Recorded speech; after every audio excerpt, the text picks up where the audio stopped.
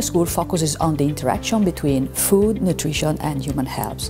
The goal of this Winter School is to bridge the gap uh, across different disciplines by providing a very solid and strong environment for students who will be able to engage, interact and follow a variety of courses. Summer Winter School on Food and Health is a great achievement for us. It is a step forward in the development of relations between Padua and Sydney universities in different fields, research, teaching, interactions with the local environment. We are convinced, and uh, I would say we have been convinced for nearly 800 years, uh, that uh, international connections between students of all over the world into a good university site is the strength of a university. Therefore, none of us can be strong in absolutely everything.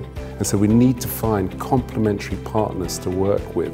What we're looking for is obviously excellence in research and in teaching. And what we discovered here at Padova we find the same thing, the same kind of thinking. Oh, the students had two weeks of lectures in this course.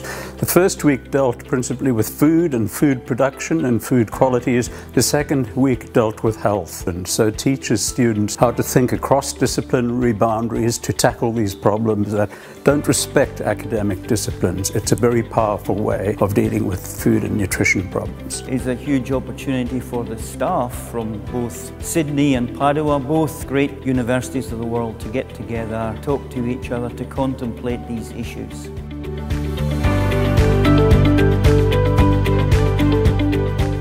learning from a broad range of lecturers and academics, um, as well as industry leaders. I feel that'll be invaluable to my future career path, no matter where I take it.